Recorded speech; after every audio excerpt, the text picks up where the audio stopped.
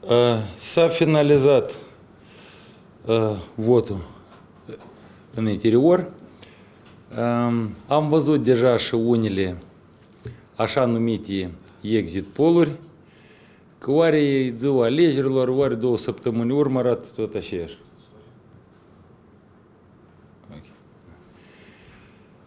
Noi cu toți colegii muncim, așteptăm rezultatele din teritorii. Sunt sigur că vor fi rezultate absolut altele decât au fost prezentate acum într-un exit poll, că am văzut că uh, am văzut și ținem cont de tot ce visează unii, dar realitatea eu cred că într-o oră maximum deja să o cunoaștem.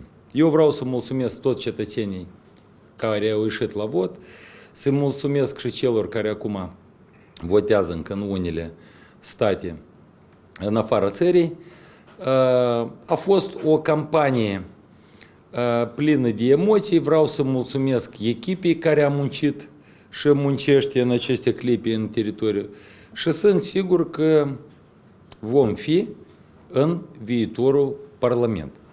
Я уверен, что несмотря на экзит-пол, который выглядит, показывает, что проходит парламент всего три партии, значит, нам они дают 4,5%. Я не понимаю, как они считают. Я думаю, они сами не понимают, как считают. Поэтому э, мы будем в следующем парламенте, мы будем третьей силой, которая будет отстаивать интересы всех gраждан страны.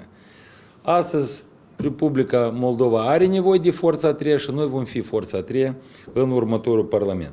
Deja când nu vom avea uh, date din teritoriu, atunci o să ies cu alte precizări și cred că împreună cu echipa, deoarece acum sunt, sunt toți prinși în câmpul muncii, cum s-ar spune. Așteptăm informații din teritoriu. Vă mulțumesc, vă doresc o seară bună.